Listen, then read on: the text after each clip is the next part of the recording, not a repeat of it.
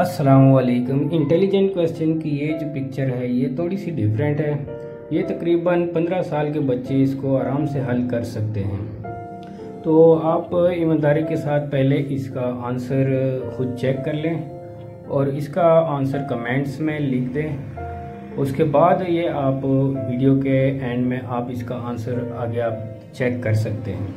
तो कोशिश करें पहले आप वीडियो को स्टॉप कर लें।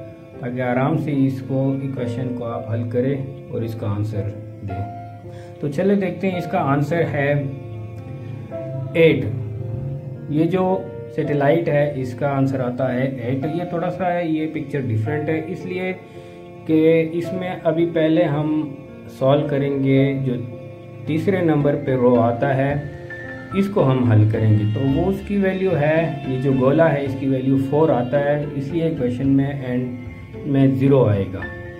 तो इस फोर को हम पहले इक्वेशन में लगाएँगे। तो पहले इक्वेशन की जो, का जो आंसर है वो ट्वेंटी है। तो इसलिए जो स्पेस मैन का जो मास है, उसकी वैल्यू सिक्सटीन बनती है।